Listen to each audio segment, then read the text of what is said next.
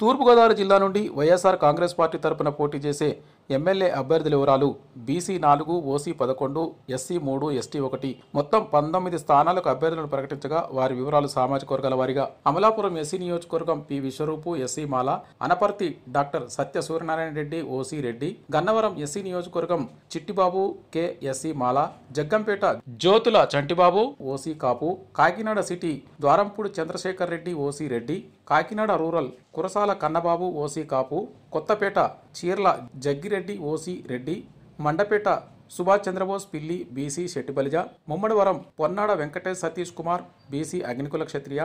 Peddapuram Thota Vani OC Kapu Pithapuram Dorababu Pendem OC Kapu Prathipadu Purnachandra Prasad Parvata OC Kapu Rajahmundry city Rowthu Suryaprakasarao BC Turpu Kapu Rajahmundry rural Akula Veerraju OC Kapu Rajanagaram Jakkampudi Raja OC Kapu Ramachandrapuram Srinivasa Venugopala Krishna Chellaboina BC Settibalija Rampachodavaram ST నియోజకవర్గం Nagulapalli Dhanalakshmi ST Kondareddy Razole SC నియోజకవర్గం Bonthu Rajeswararao SC Mala Tuni Dadisetti Raja OC కాపు.